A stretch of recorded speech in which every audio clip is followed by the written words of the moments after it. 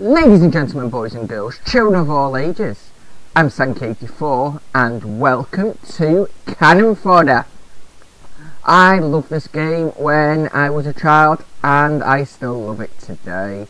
And I just thought, you know what, there are plenty of games out there, point and click shooters, and yeah, they're okay, but none of them can live up to Cannon Fodder.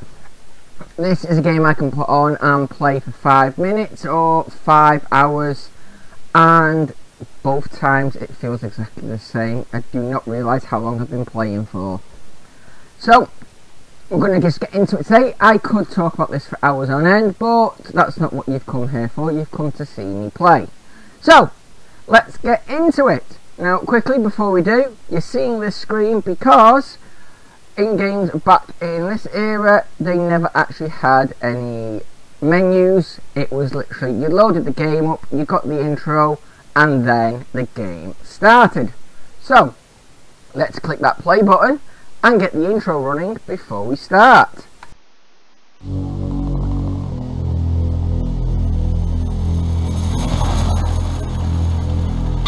This is One approaching flight zone.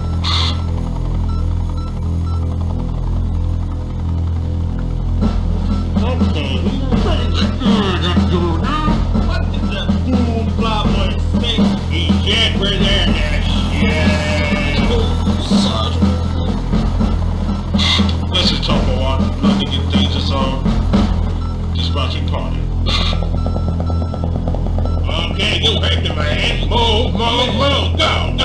on, come on. Why you oh, lousy bunch. Say, did you refuel this morning? Uh, no. Did you? Uh, no. Okay, we got a problem.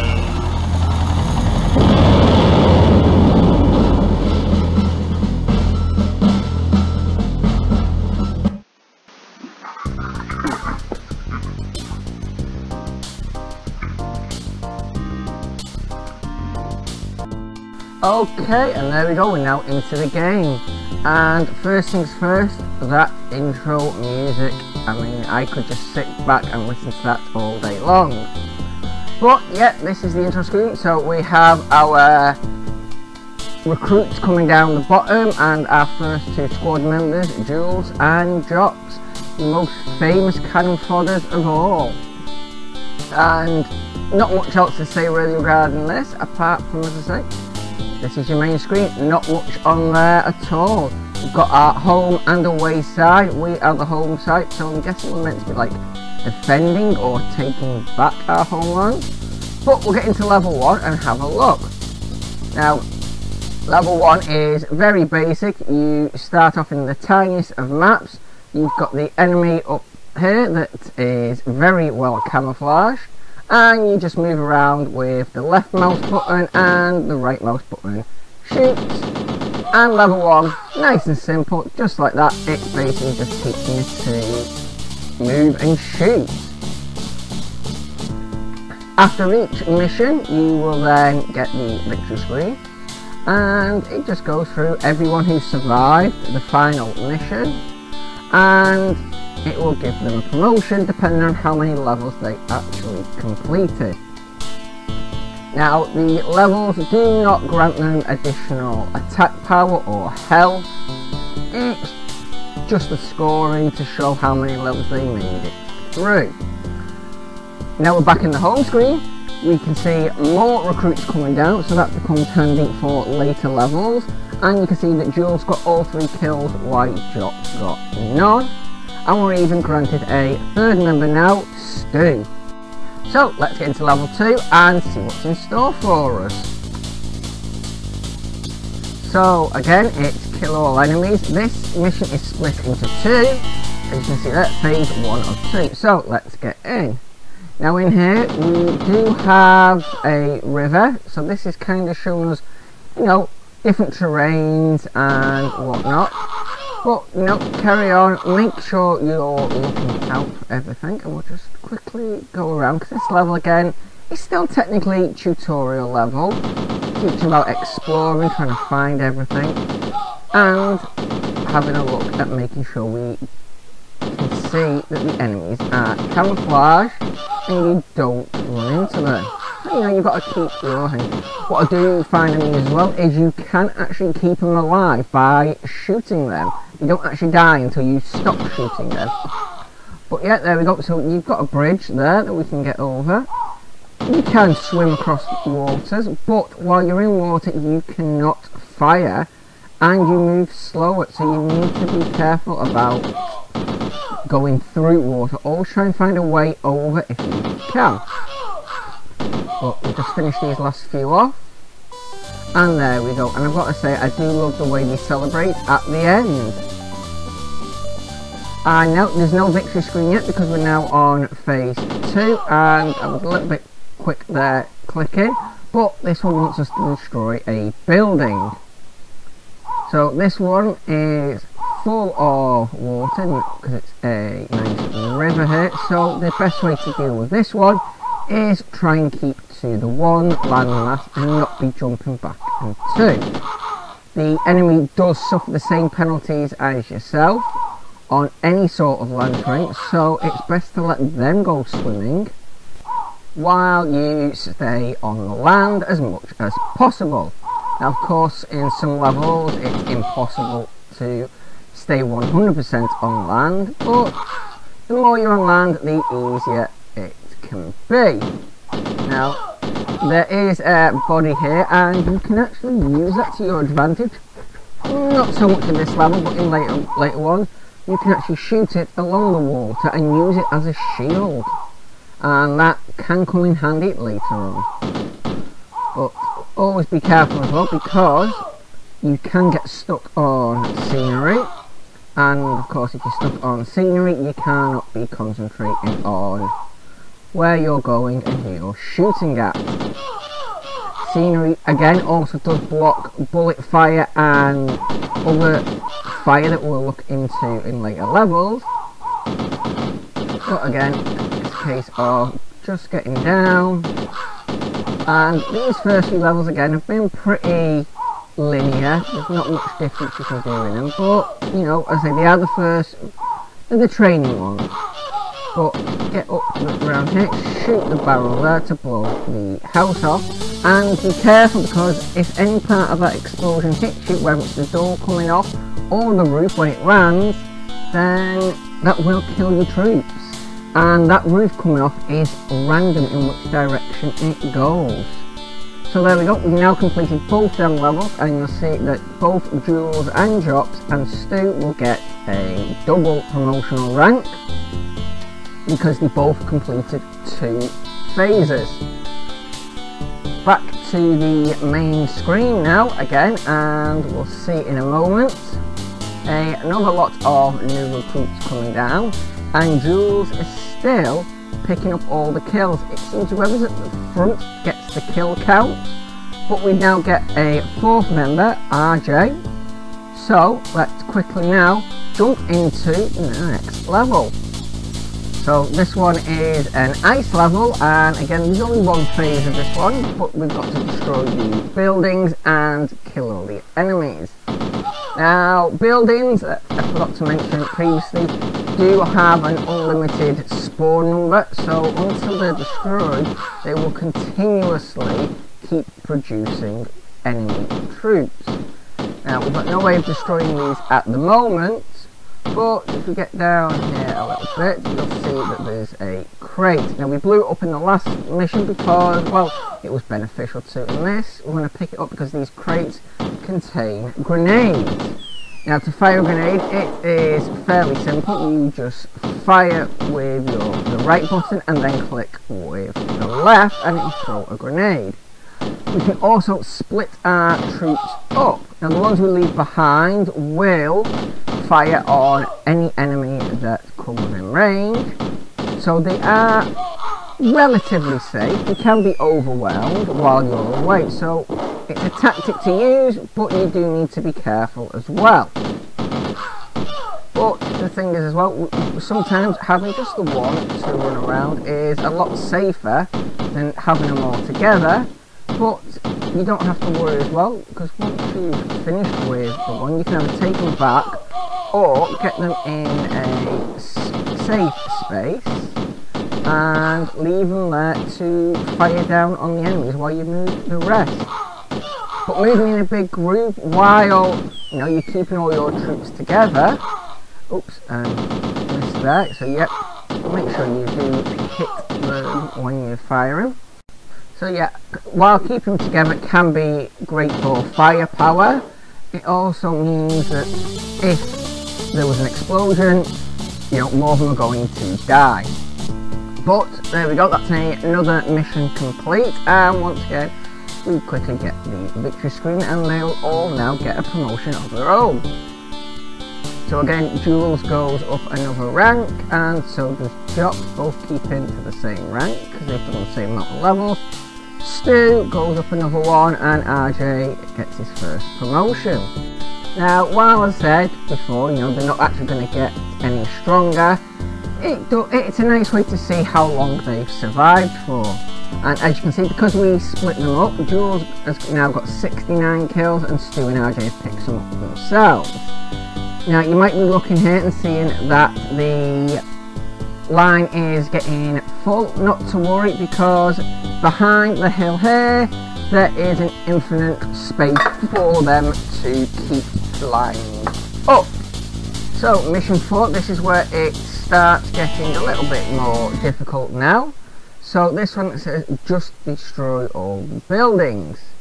So the first thing to do is try and find some grenades to destroy them. Now walking on this pit does bring you out and the safest way to actually get across any water like this is to leave one or more guarding while you send others over. That way, that way you then at least can see that that area is going to be safe. So let's just take Stoo and RJ up here to scout ahead. And even though, as I say, we don't need to be killing them all off, you might as well because it will make it easier later on when you've got to revisit an area. So just quickly keep up the side making sure, trying not to get stuck on any scenery. Now up here you'll see there is a bit of new territory, the sand, and while most of the sand is fine, this dark area right here is actually quicksand. So any of your troops, or any of troops if you can get them to wander on it, oh jeez, where did you come from? I didn't see you. Right, grab these. But yeah, anyone that stands on that will be instantly killed. Right, so that's that one's destroyed and we've got one down south again so let's head back down here but you may have noticed that there are now new enemies spawning in because that hut down south has now activated and started pushing troops out so killing the ones from before has made it easier but it doesn't mean that just because there's no troops there you don't have to watch what's going back and that's another thing you need to be careful for. I blew the roof off but not the door and until both have gone then it doesn't class as it's been destroyed. But another thing as well, once you bring them back you can't group select but if you click on the other group then it will join them back together. So we will quickly few more of these off and yet there is a few bugs still in this game I've noticed regarding grenades but that doesn't change you know anything regarding gameplay or tactics it's exactly the same so just sneak around grab what we can and kill everyone we see and there we go another one down and then just quickly head up, trying not to miss any.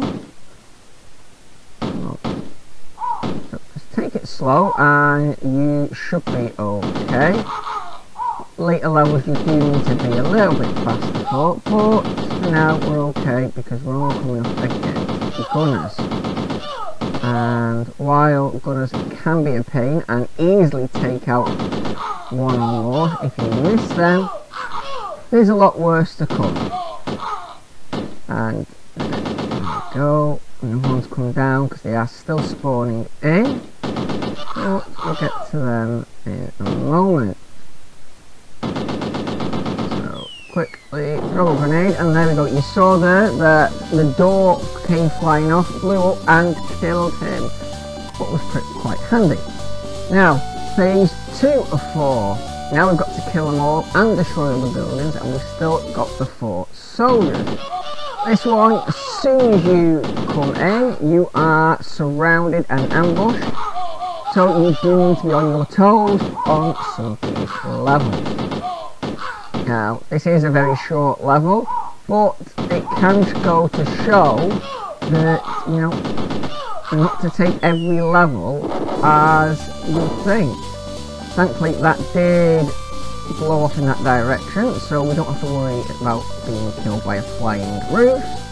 But now we've got a fifth soldier joining us, and you can see there the building we've just destroyed is there, so we're carrying on really. And we've now started off with 10 grenades. Now this one is one of those where you're going to need to use tactics a bit more than you have done previously. Previously you could just keep them all together and run around. This is the first one where it can, in a way, forces you to split your team up.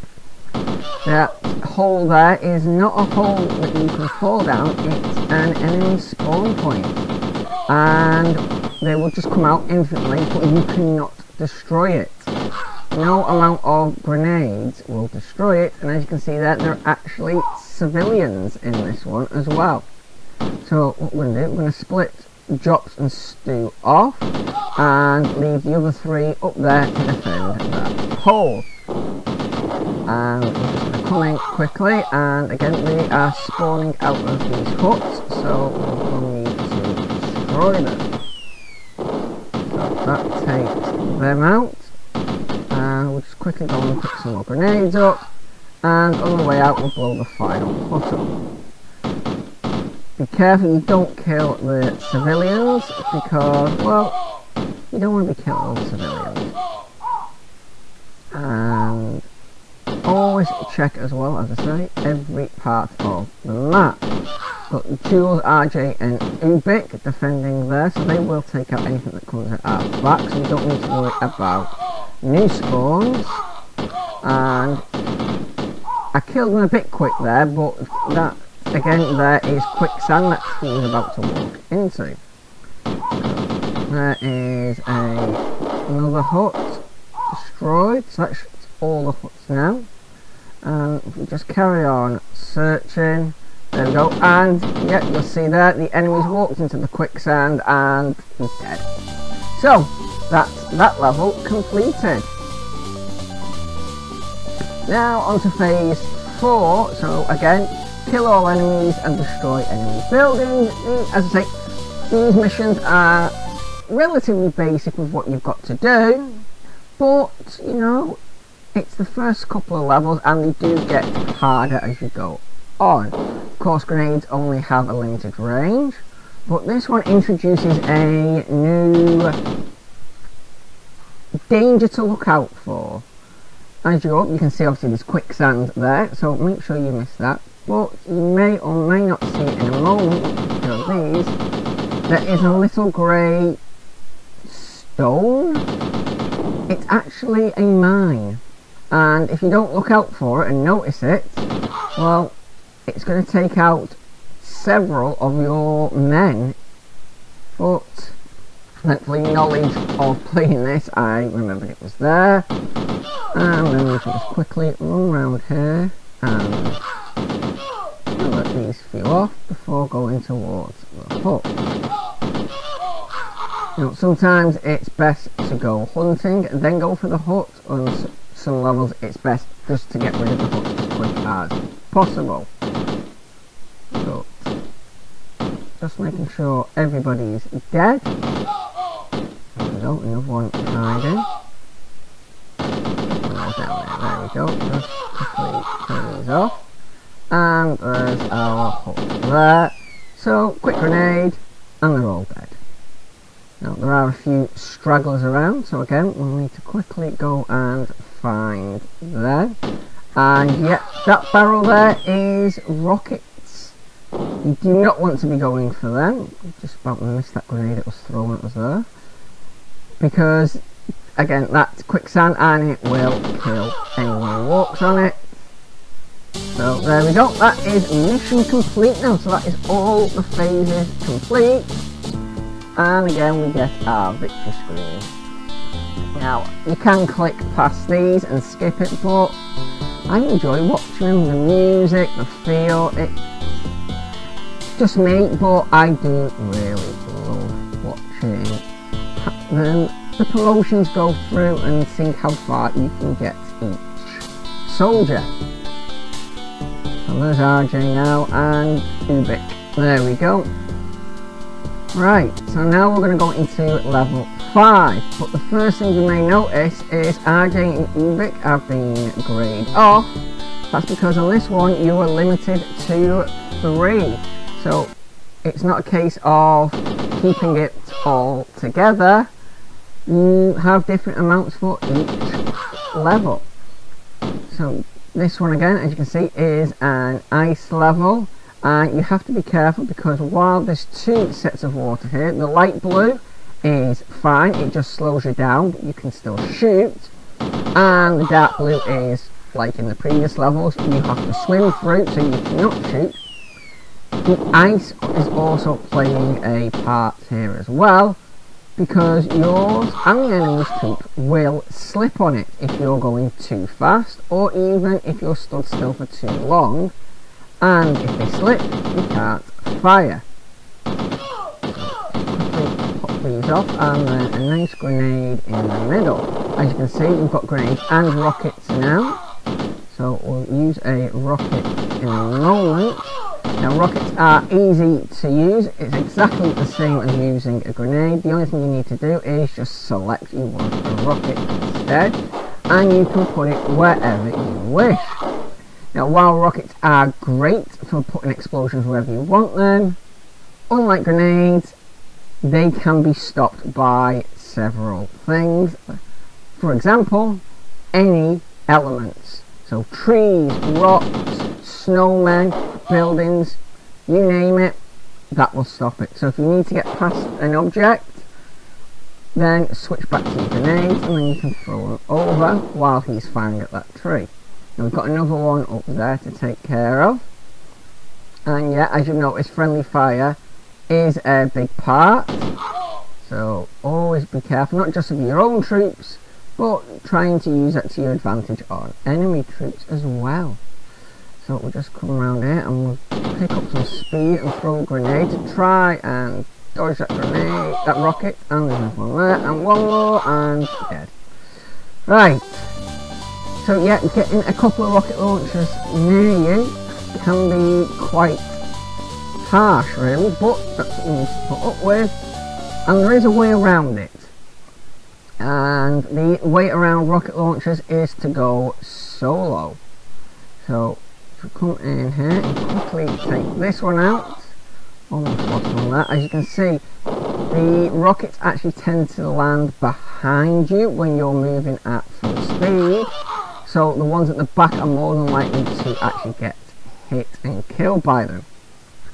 But what we can do here is just quickly travel up north here. And there we go, that's one dead because we were too slow. But as I was saying about using the environment, there he blows himself up. Are able to get that one, so we didn't fire one there, and we've got another one. So Jools and Jops are the only two left now, but that's fine, these two can keep it going. Now again, if we go into split, we can then put one of them in a guard mode and use the other one to scout ahead just to make sure any grenades, uh, any rockets are fired hopefully miss. So round we go, another building there, quick grenade for you and shoot you. There are others around, need to be careful because that is a cliff there and if you fall off that one you will die. But as I say, there is no actual fall damage on this game, and that is quite good actually, because so many times you'll end up falling off a cliff. So bring Jops back round here, and again you can see the hole there, so that will spawn unlimited. So what we'll do is we'll jump back to Jools and use him. So just quickly scout the area out to make sure there's nothing around. And now Jools is in a good spot to cover that and any that come over the water. We'll go back with Jops and bring him around to clear up the final area of the map we've not been to yet. Now I did miss one thing, I'll get that in a moment because I said I was saying about houses. Well there's a house over here that needs to be killed off. So we'll just go around here a moment and I'm gonna quickly destroy that one. And thankfully the hat so we didn't come too far. Now south here, and there is another one, and a load of missiles. That could be handy in different circumstances. There we go, that one's dead now, and no. Okay, Jops was taken out, and we've got a rocket launcher over there, so we need to keep away from him.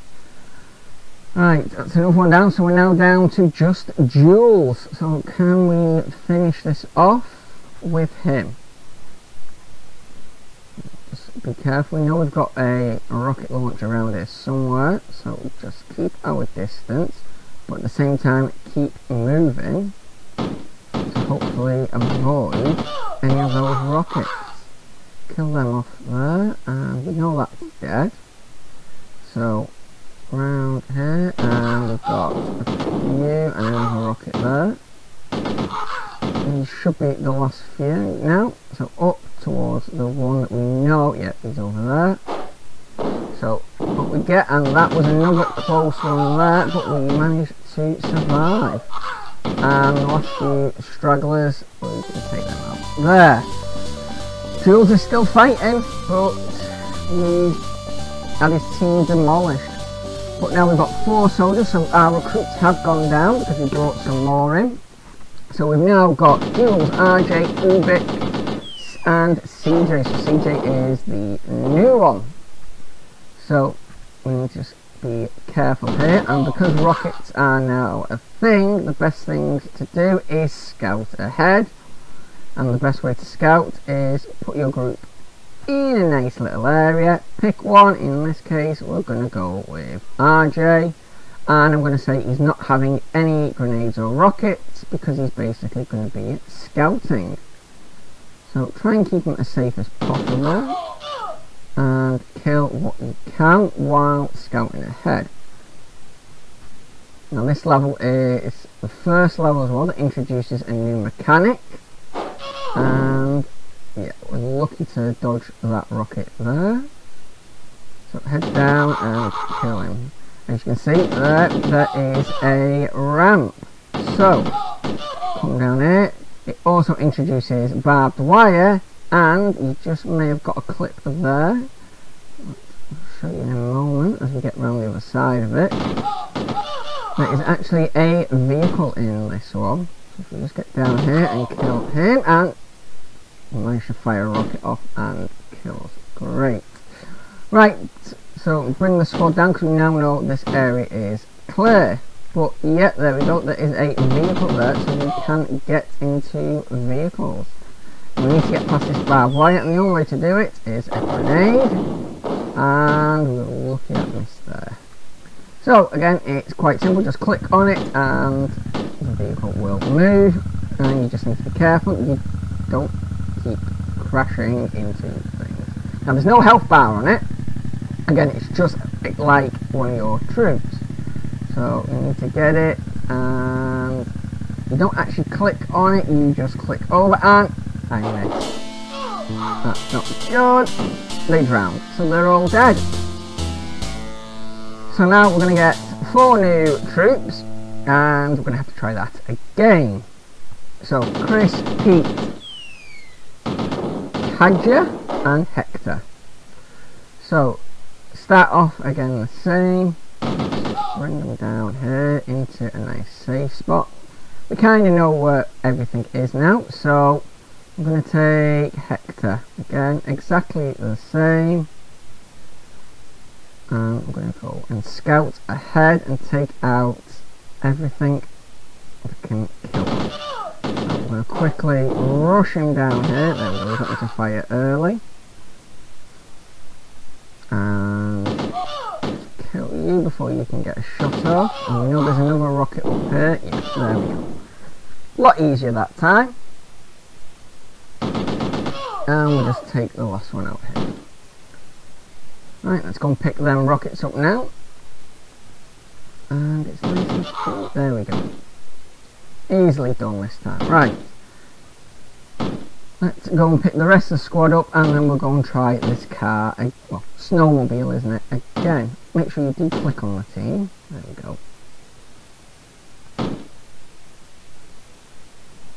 So yeah, even though it's very basic, it's really fun and enjoyable and there are a lot of tactics involved. Blow this up and as I say, there you go. You've just seen it there, the roof went off in a completely different direction last time and blew the car or snowmobile up so we now need to get across another way. So let's split the team up again. This time Tadger can go over solo. No, no, I meant to split, not start walking. Everyone get back on onto the land. Right, there we go. He can go over on his own. We'll keep them there to try and cover. And because we know there's a rocket launcher up there, we're gonna just keep him down here. And ooh, close. That's that's very. Whoa! How how we survive that? I don't know. Another one there. Take you out. Okay, so now he's here, we're to put him there and we're to get another one and bring him over so This time going to take some grenades and rockets with us and hopefully Chris can get across just the same as Tadger did. And yet this time we managed, oh, yeah that was close. Thought he was going to make it then without having a shot fired at him. There we go. Tadger will get you down there to cover that, while Chris can go up and take care of this rocket launcher so the others can come across. Them off, and we've lost somebody. That's what I was on about being careful for. Tadger's actually died. So yeah, he wasn't able to keep up with the amount coming at him, and well, Chris has finished it off, but we had another loss. So because we've had losses and we're at now at the end of the mission, we get our condolences. So we get to find out everybody who died and in what order. So Steve was the first uh, to die. Then we lost Jops. RJ was next to bite the bullet. Followed by Jools and Ubik who drowned along with CJ. And uh, then Tadger was just unable to defend his spot and also was. We don't know how he died, we just know he did. Then we get the victors, the ones who survived, and they will now all get their promotions. And once they've got that, we will see that the home screen has changed slightly. Now we've had our first loss. So Chris, Pete and Hector have all survived. And because they were only in the one mission, they only get the one level promotion. But yeah, back on the home screen now, you will see that there are now gravestones, one for everybody we have lost. And in the hero section, the dead are there in order of kills so you can just see, you know, what rank they got to and how many kills they had in total. But you know what, ladies and gentlemen, I think you get the idea.